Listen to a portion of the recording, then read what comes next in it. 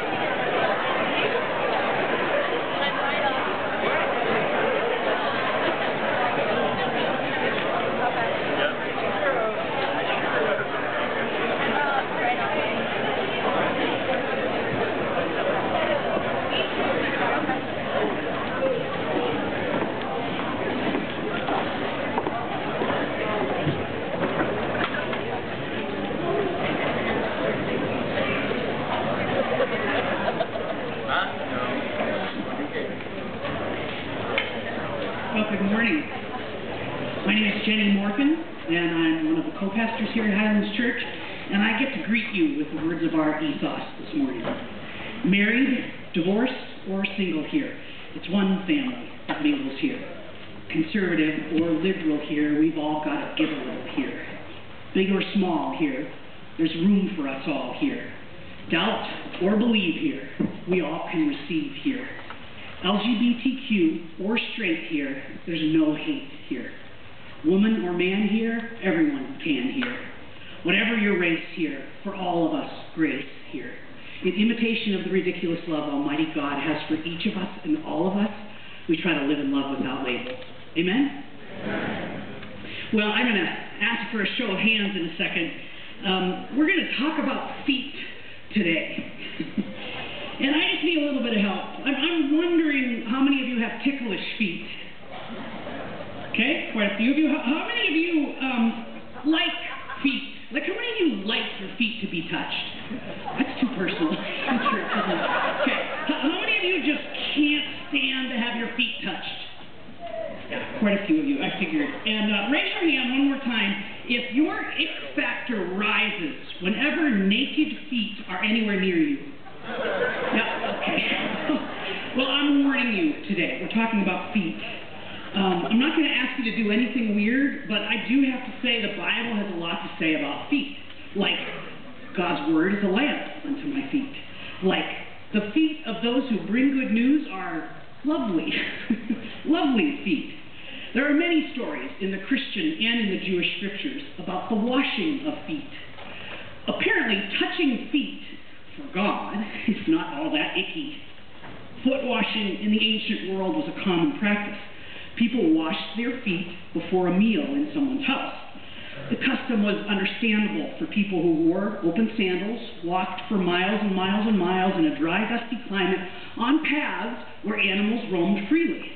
Like helping people get the dirt off before dinner, it's practical. It's hygienic, like making sure folks aren't dragging a lot of doo-doo into your home. Our team in Honduras right now understands this. They're wearing flip-flops today, walking on unpaved roads and getting their feet and their hands dirty. They flew out on time on Friday. It took them a day and a half to get there. They're all safe. They're all healthy. They're all pretty happy to be there. All the medical supplies made it, the books. Their hearts are really open right now. And they are five of our finest servant leaders. We'll know more about their feet in seven days. And in the Bible, there are at least ten specific instances when visitors were greeted by a host who gave them a basin of water, a towel, so they could wash their feet. The only people who washed the feet of others were servants or slaves who might wash the feet of a distinguished guest. Otherwise, you washed your own. And it was understood that no free person ever washed the feet of another free person. Those biblical foot washings represent a practical and hygienic form of hospitality. But with Jesus, foot washing becomes the pattern of how God loves us. The story we hear today represents his last night. Jesus' last night to be clear with his followers about who he was and what he was doing. The night before his death, Jesus gathers the disciples together for supper. We remember this meal every week because it's a new beginning, even though it looked like an ending. And John's version of this part of the life story of Jesus is the only place where we find the foot washing. This is John chapter 13. Now, before the festival of the Passover, Jesus knew that his hour had come to depart from this world and go to the Father. Having loved his own who were in the world, he loved them to the end.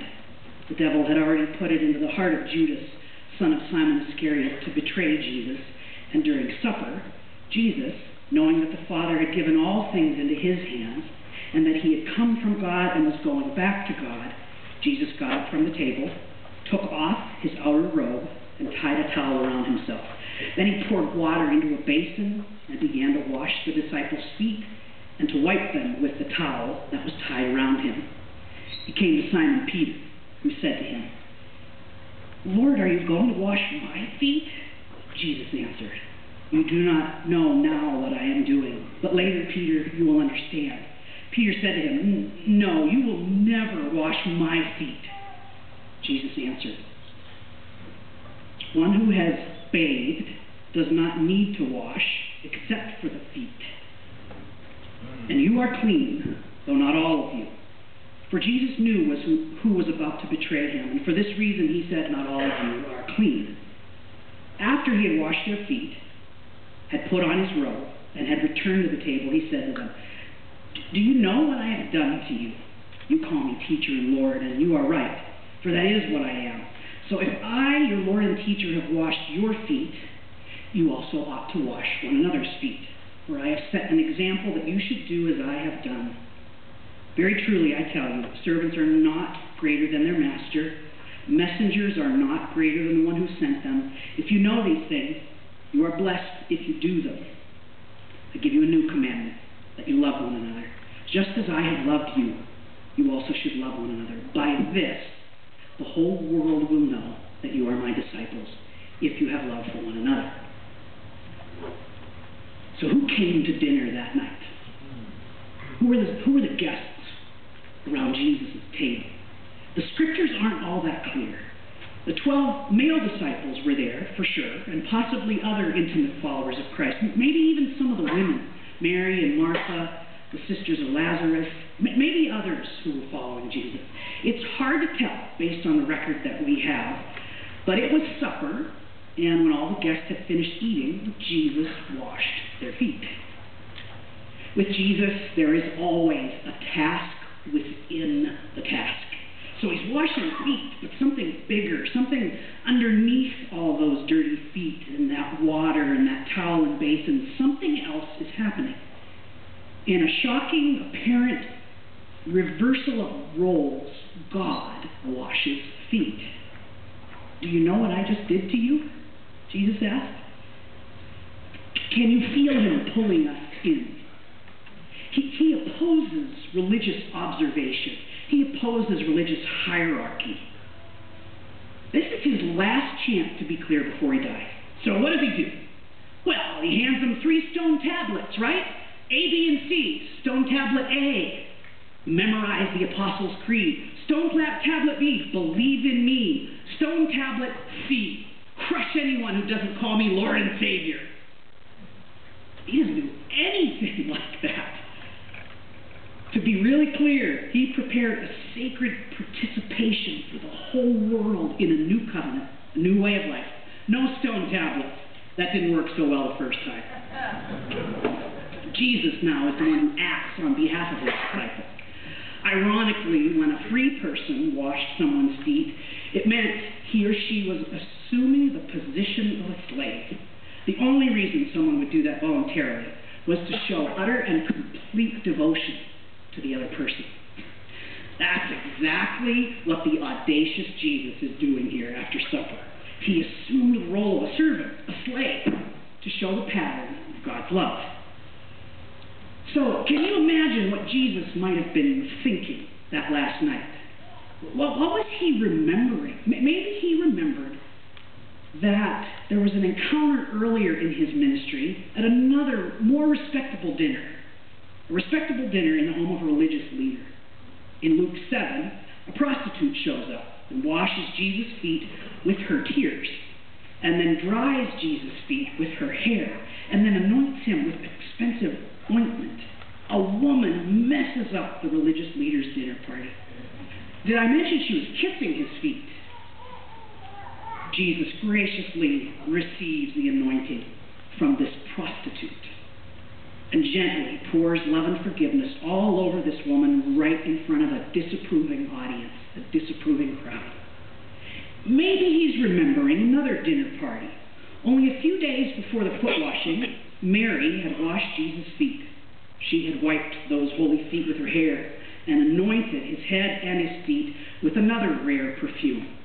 Judas didn't like it that night. That extravagance was awful to him, so he complained tried to get Jesus to see the frivolous waste in it all. Jesus is always pulling us back into the task within the task, the mystery behind the thing. Jesus would have none of Judas' logic at that dinner party, just like he would have none of Peter's logic at this meal.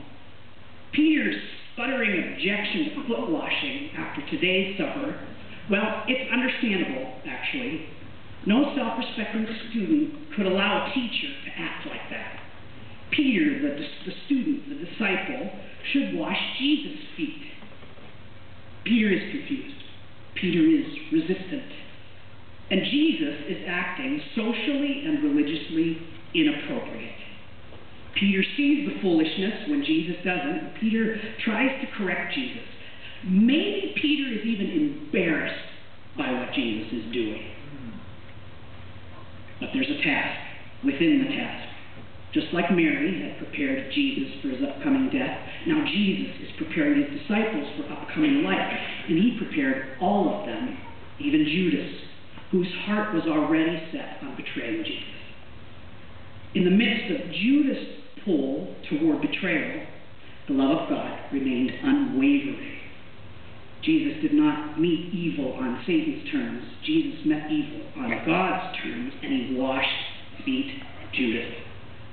The love that Jesus showed here is the way of walking in the realm of God, what we sometimes refer to as the kingdom of God. And this is our call to love one another, even when it's difficult. Maybe especially when it's difficult. Honestly, I think most of us grow spiritually more by doing it wrong than doing it right. I do. Like I experienced last week when I bulldozed my way through our staff team meeting.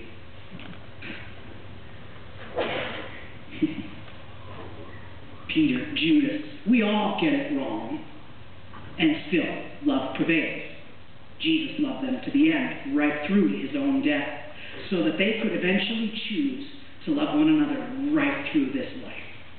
The evening meal and the foot washing, they're intended to light a fire in our hearts, not just be something that we watch, a fire that will thrive and burn forever, that will change the whole world. First, we have to see the task within the task. Because God is hiding in this story. God is hiding like God often hides in the ordinary, everyday things of life. It's amazing, isn't it? I mean, it's awe inspiring. The ordinary means Jesus uses to convey extraordinary love. Do you know what I have done to you? He asks the dinner guests that night. And Peter had just finished fumbling and demanding that Jesus not wash his feet. Of course, Peter did not understand in that moment what Jesus was doing. I mean, he could see the foot washing task, it was happening, but he didn't yet have eyes to see the task within the task. God asks us the same question Do we understand what Christ did for us that night? I mean, in this ordinary event, with those ordinary human, earthy, practical elements, the universe turned on its hinges. The ordinary became holy after that supper. Towel, and a basin and water. It was just water.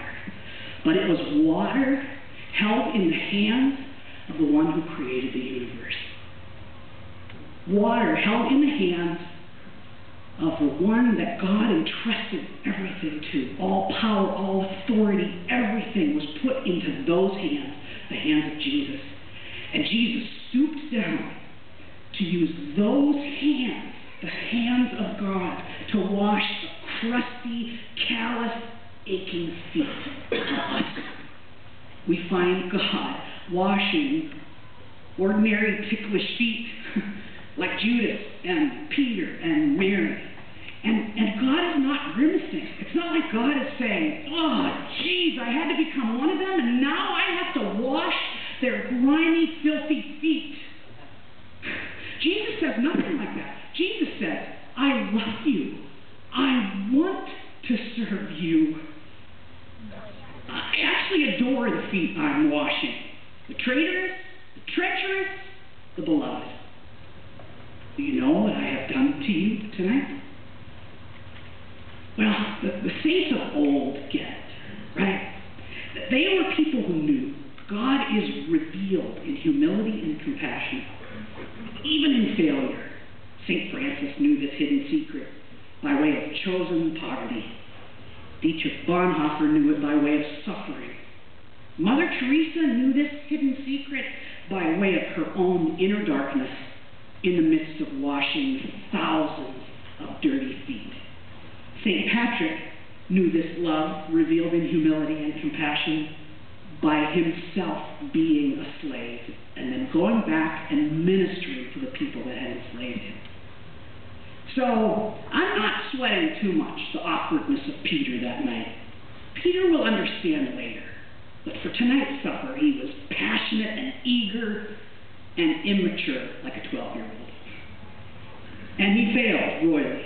Within hours of having his own feet washed by God, he would deny that he even knew Jesus Christ.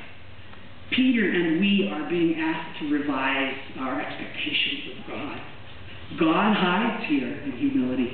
God, hides here in compassion. Having any kind of relationship with Jesus involves being served by Jesus and being served by one another. This foot washing is not just a ritual cleansing, it's a topsy turvy, foolish act of love. Judas is included, Peter is included, I am included, you are included. So we look carefully to see God hidden here in humility and compassion. Jesus washes our feet, and then we can understand what it's like to wash someone else's feet. Because we can't engineer this experience. This experience is done unto us. We must allow ourselves to be led, to be loved, to be served. So this foot washing happened in history, and it's a metaphor.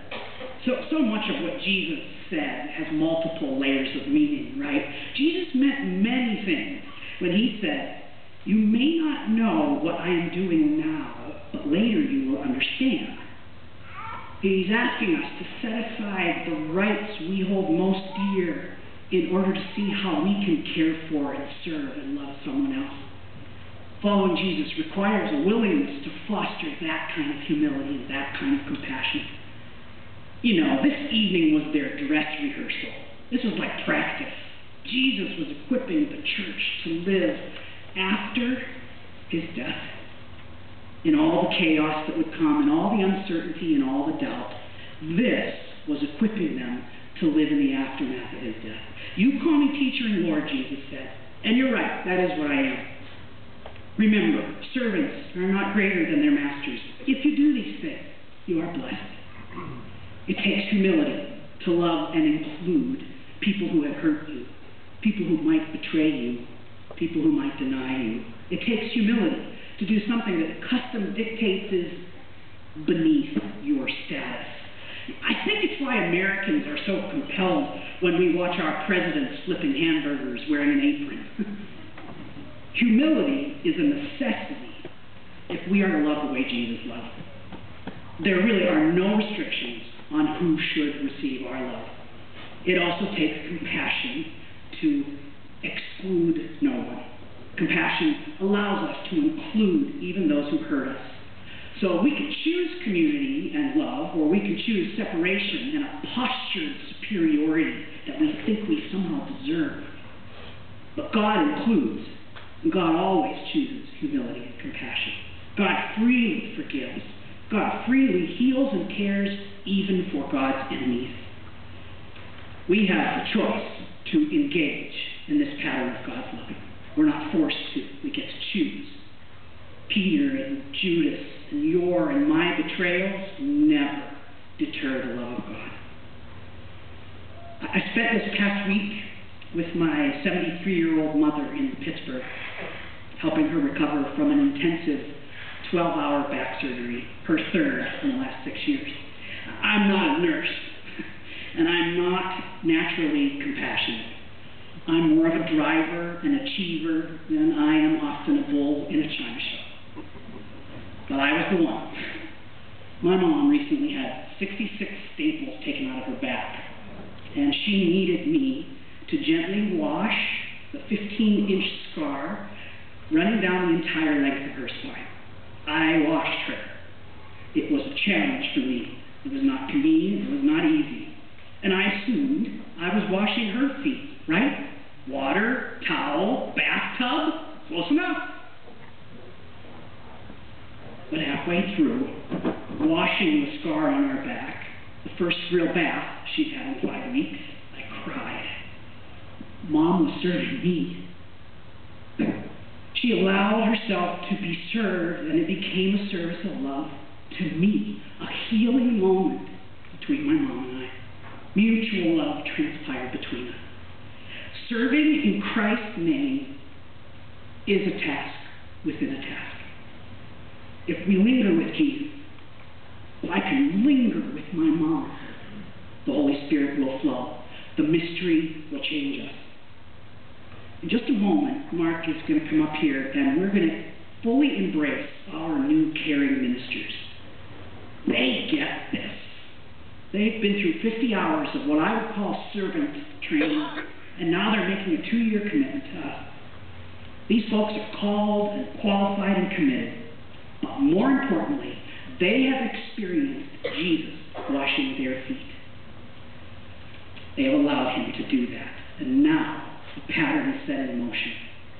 True salvation, like the real realm of God, is being played out before the eyes of the disciples and before our eyes. Before God dies on the cross, we see this pattern.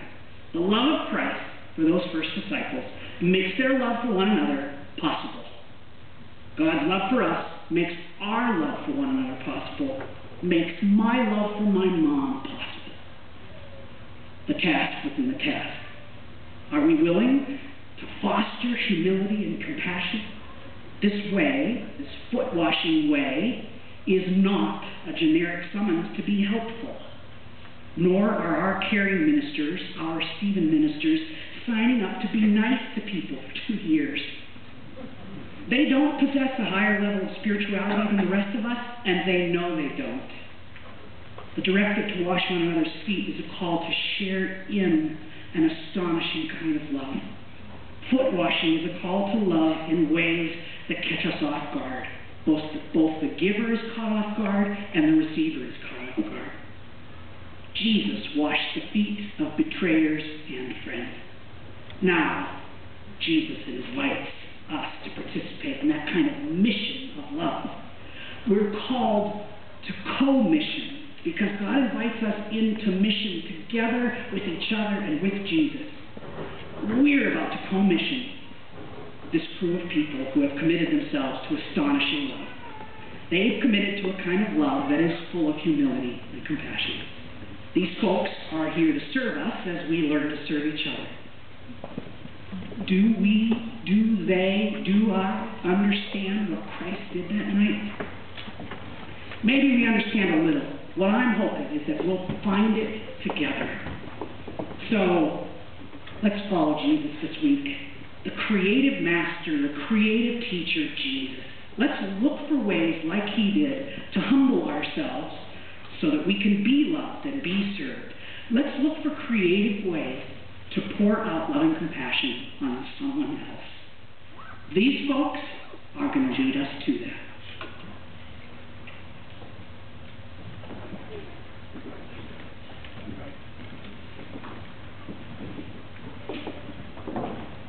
A couple years ago, Karen and Christy, I'm going to ask them to come just uh, a little bit further. Um, I meant more than a half an inch there. and over by me. right according to script. Um, Karen and Christy uh, approached uh, the staff and leadership council um, anticipating the future uh, there would be more of us, uh, and there are now, and uh, uh, they envisioned that there would be a greater need for more, if you will, pastors uh, bearing the burdens and, and hearing the cries of distress and walking alongside uh, of people in our congregation. Before there was much of a need, they, they, they saw the need. So that's why it's our practice to believe that uh, when Jesus said, uh, whoever has ears to hear, let him or let her listen. And thank you for listening. So that at this point, having gone through all the training, uh, not only as Stephen ministers, but as, as leaders, um, behind us is the first batch of people that they've taken through, uh, it's actually, it's a lot more than 50 hours of, of training and practice uh, to be able to serve our congregation. Um, for me, this is part of the fulfillment of a strange thing Jesus said when he told his disciples that it would be good for him to go away, because they, they didn't want him to ever leave. And he said, It's good for you if I go away, because when I go, I'll send the Holy Spirit, and you will do even greater works than I have done. And most of us read that and go, oh, right, have you seen? and we know what you did. How are we supposed to do better than that? What he was talking about, because we all together are the body of Christ, we can be in many more places than Jesus can be uh, in his solitary body. And so, because we're engrafted into the body of Christ, we're like so many little Jesuses um, running all over the planet. And uh, so there's this many more people within this congregation uh, to, to, love and to serve us as, in particular times of need and distress.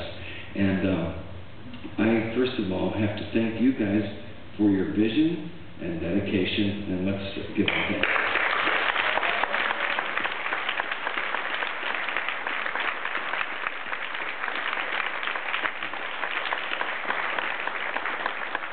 Like we're going to start crying like little babies if we keep this up very long, all right?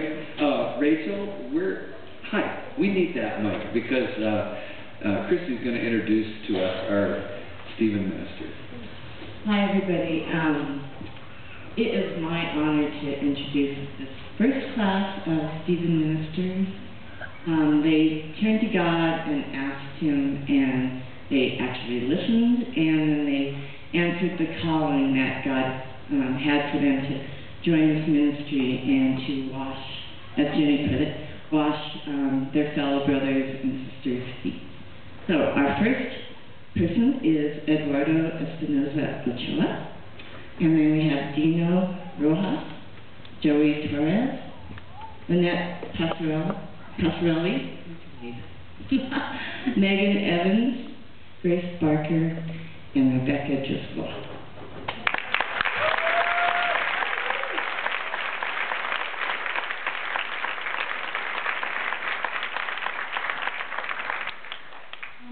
both uh, Christy and I have been so blessed to be involved with this group of people. They've all demonstrated wonderful hearts and an excitement to serve God's church, especially here at Highland. They all have their own personal stories and reasons for becoming a Stephen minister. Today, we will hear from Megan, who has graciously agreed to share with us many.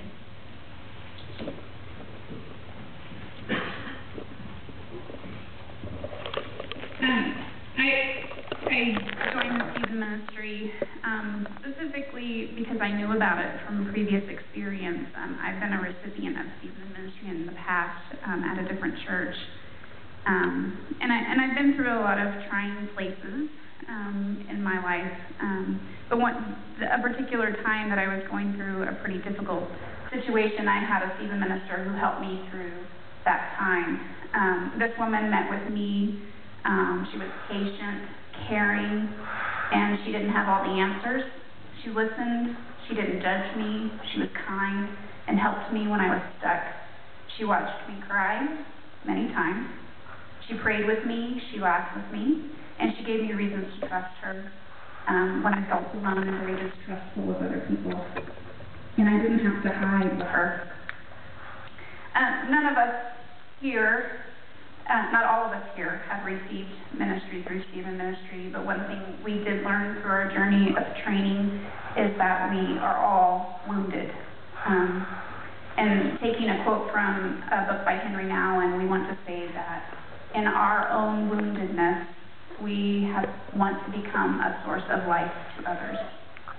Um, we believe in the power of God to heal by using us as His hands and feet, and we know that um, healing doesn't always mean physical healing or getting what we want. Um, many circumstances in life are hard and confusing and lonely, um, but we want to be here to walk through that with other people um, toward wholeness and peace. Um, my biggest hope through this ministry is to be a resource for hope for all of you. Um, we don't have all the answers, nor can we meet all the needs of everyone in this room, um, but we want to start we can listen and we can offer grace and love to those who are going through difficult times. I did find um, a prayer slash poem that I thought was really um, beneficial, and I just want to read it um, on behalf of all of us to you all. God of healing, God of wholeness, we bring our brokenness, our sinfulness, our fears, and our despair, and we lay them at your feet. God of healing, God of wholeness, we reach out hearts and hands and minds and souls to feel your touch and know the peace that only you can bring. God of healing, God of wholeness, in your presence and power, grant us faith and confidence that here in this place, in this city, through this church and this ministry, that broken lives can be made whole in you. Thank you all very much. Um, don't have a lot of time to, um, to thank Kristen and Carrie, uh, Karen and Christy, how did I say that wrong? But we have special little gifts for you guys.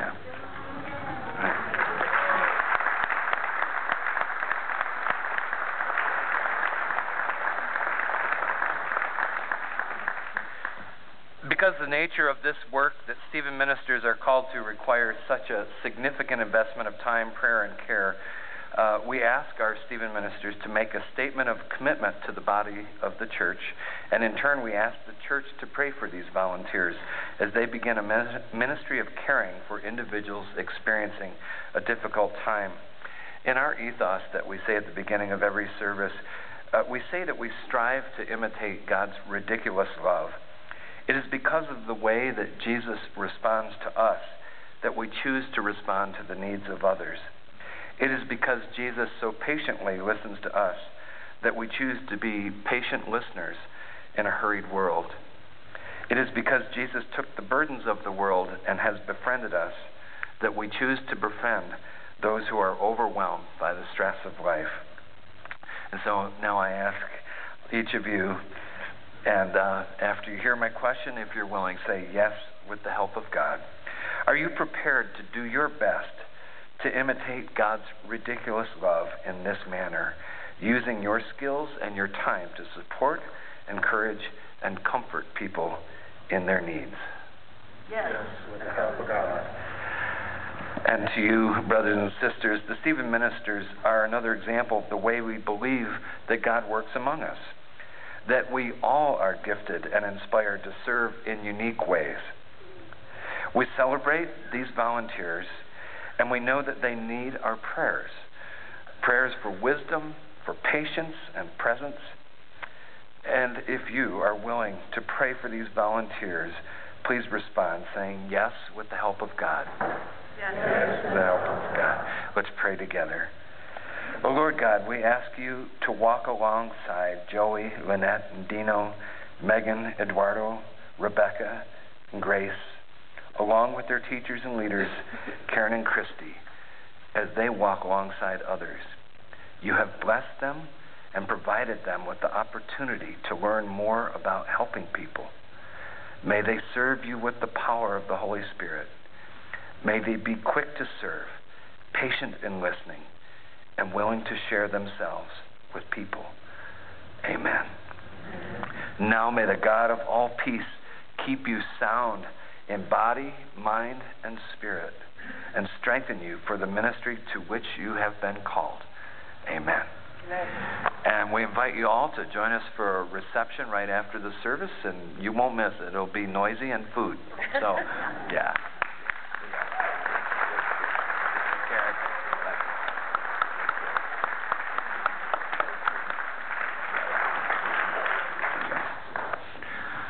I'm my way to the communion table.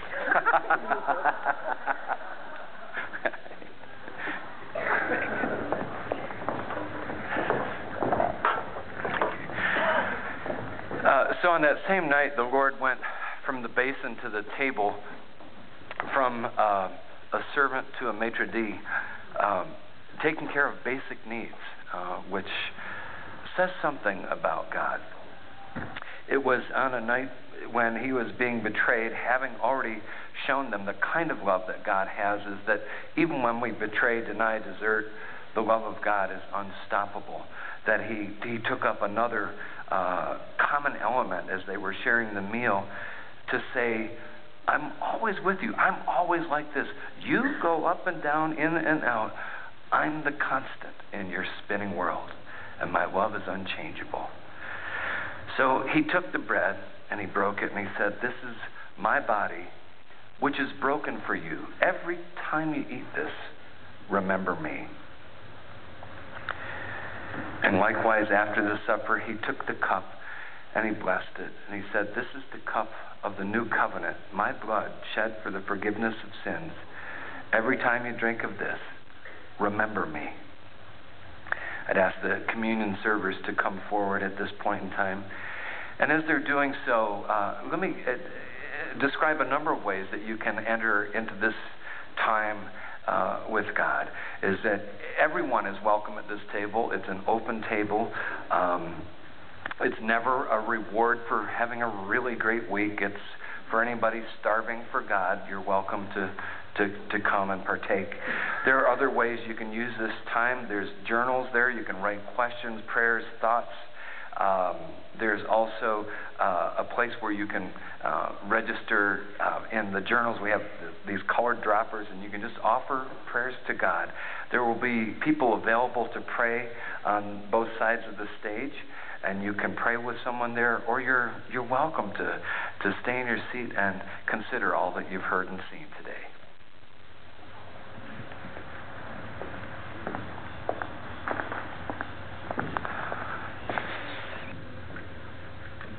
Mm-hmm.